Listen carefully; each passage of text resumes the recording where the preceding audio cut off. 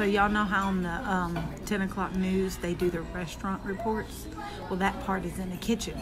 So I've decided I'm just gonna spend time with my friends and I'm gonna do y'all's restaurant reports on the tables that you eat with. so here we go.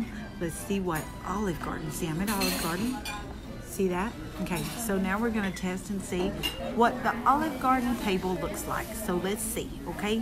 It could be nasty, it could not be. I don't know. Let's see.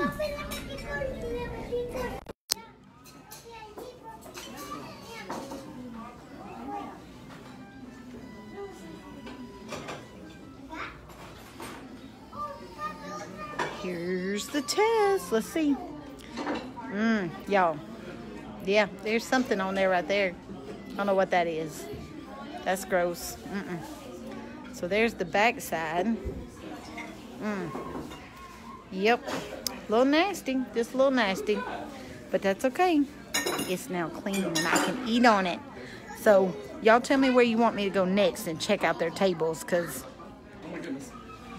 I'm thinking this would be funny if you tell me where the next restaurant you want to see how clean their tables are. So let's do a challenge. Give me where you want me to go next.